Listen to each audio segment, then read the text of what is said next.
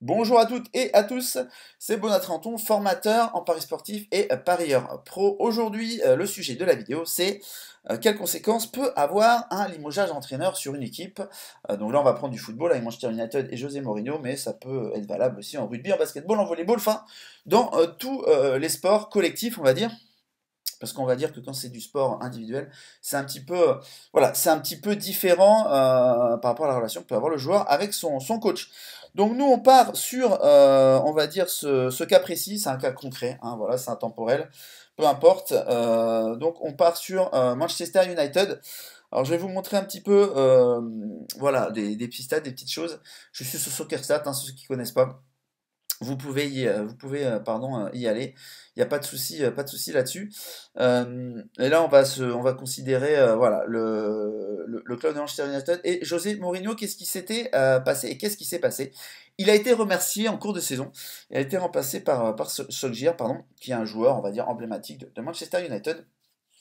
Voilà pourquoi, parce que tout simplement les résultats n'étaient pas au rendez-vous. Manchester United, quand José Mourinho s'est fait virer, il était 6-7ème, et puis voilà, il y avait un, bon delta d'écart entre lui et puis la, cinquième place. Euh, et puis bah, la Ligue des Champions, il fallait pas trop. Euh, voilà, il pouvait quasiment faire une, croix dessus. Et puis voilà, ils ont limogé, euh, Mourinho. Il y a eu quoi? Bah, Il y a eu un changement tactique. Il y a eu des joueurs qui ont été récupérés à la CAF comme Pogba qui rejoue maintenant et qui, est vraiment très très bon. Donc voilà, tout ça a fait que bah, ça a eu un impact forcément rapide sur les résultats. Et là, on peut regarder, c'est pour ça que j'aime bien aussi, pour ça que j'utilise ce site-là pour, vous faire la vidéo. Avant, euh, quand il y avait, euh, alors le hall là, il intègre aussi, euh, on va dire, comment dire, bah aussi les, les, 8 matchs qui sont là, hein, d'accord, les, les 8 derniers matchs, mais bon, c'est surtout les matchs de la saison. C'était 1,88 points marqués. 2 buts marqués, 1,46 buts encaissés. Depuis le limogeage de Mourinho, donc on va dire, ça fait à peu près 8 matchs, 1, 2, 3, 4, 5, 6, 7, voilà, bon il en manque un, donc ils ont pris celui-là. Euh, et donc si Manchester gagne euh, le prochain match, ce sera encore meilleur. Bah, ils ont augmenté leur point de 26,6, qui est énorme.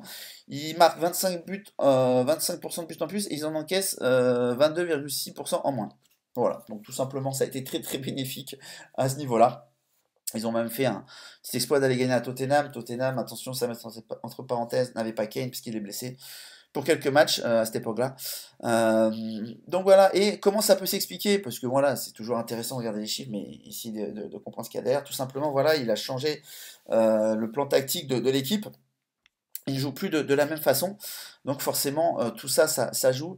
Et ce qui est très très important, c'est là que je voulais aussi en venir, quand il se passe quelque chose comme ça, alors là c'est au foot, mais comme je vous dis, dans n'importe quel sport, surtout attendez avant de reprendre une équipe qui vient de changer d'entraîneur, voilà, pour, pour la jouer.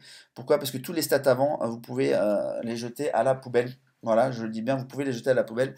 Ça n'a plus rien à voir. Pourquoi? Parce que si le changement tactique est plus offensif, bah, ils vont marquer plus, mais ils vont, en prendre plus. Et s'il est plus défensif, ils vont en prendre moins, mais euh, ils vont en marquer moins aussi. Donc euh, tout ça, ça va jouer. Toutes les stats d'avant, vous pouvez les jeter. Si par exemple la défense centrale, bah, c'est plus les deux mêmes joueurs d'avant, bah, c'est pareil. Euh, ça n'a plus rien à voir. S'ils changent le goal, s'ils changent les attaquants, enfin bon bref. c'est facilement compréhensible, je pense, par même les parieurs novices ce que je suis en train de vous dire là. Donc, pour préserver votre argent, euh, mettez ces équipes-là de côté, on va dire, mettez-les en quarantaine. Regardez un, petit peu ce qui se passe pendant 3, 4, 5 matchs. Bon, bah là, voilà, hein, on sait comment j'étais United, mais non, euh, c'est plus la même équipe et, c'est beaucoup plus costaud. Donc, euh, à tel point que là où je fais la vidéo, il y a encore quelques semaines, Manchester United faisait absolument pas peur à Paris. Bon, pour le pour le, Champions League, bah maintenant c'est un petit peu différent. En plus avec Neymar en moins.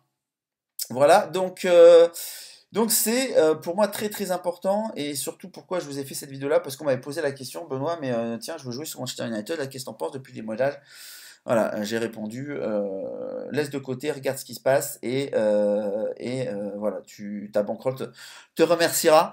Il n'y a pas non plus forcément toujours ce choc psychologique quand il y a un changement d'entraîneur dans le premier match. Bon là, il a eu lieu, hein, 5-1 forcément. Mais vous avez qu'à regarder, voilà, vous amuser à prendre toutes les équipes qui ont changé d'entraîneur et vous allez voir que le pourcentage que l'équipe gagne tout de suite de matchs après et, il sera moins élevé que que ce que vous pouvez euh, penser. Moi, je l'avais fait à l'époque. Et euh, effectivement, c'était. Euh, voilà, le choc psychologique, en fait, n'était pas vraiment là, on va dire. donc voilà pour cette, pour cette petite vidéo. Laissez-moi les commentaires en dessous. Voilà. Si vous pensez que la vidéo elle est censée ou pas, voilà, vous pouvez critiquer la critique euh, quand elle est positive, bien sûr. Enfin, elle peut être négative, mais moi, voilà, j'attends toujours positivement pour, pour, voir un petit peu ce que, ce que vous avez à dire. C'est toujours très important. N'oubliez pas aussi de vous abonner à la chaîne YouTube. je vais faire d'autres vidéos. Vous avez aussi la radio gratuite toutes les semaines que je poste avec mes acolytes Pierre-Yves et Damien avec des pronos qu'on vous donne en, fin de, vidéo. Voilà, on vous apprend aussi des, petites choses, on débat sur pas mal de sujets, donc c'est très, très sympa. Et puis n'oubliez pas aussi, là, en bas de la vidéo où euh, ça va s'afficher, le lien à la webconférence que je fais, euh, euh, une fois par mois.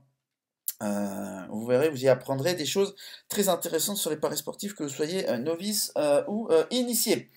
Allez, je vous dis à très bientôt pour une prochaine vidéo. Au revoir à tous